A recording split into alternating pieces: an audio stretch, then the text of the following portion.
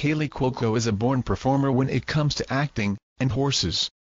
The 28-year-old Big Bang Theory star proved that well as she took her beloved horse Thor through a practice course at an equestrian center in Los Angeles' Encino area on Saturday. Kaley and her horse were as one as they cleared the bar, the actress leaning forward ever so slightly with hands gripping the reins. The actress drew inspiration no doubt by wearing a blue tank t-shirt with the inspiring words Beautiful Dreamer written across the front. She matched her top with blue leggings, black leather riding boots, animal print gloves and a protective helmet out of which peeked her short blonde tresses. Kaley's expression was one of concentration as she whisked her horse around for another run.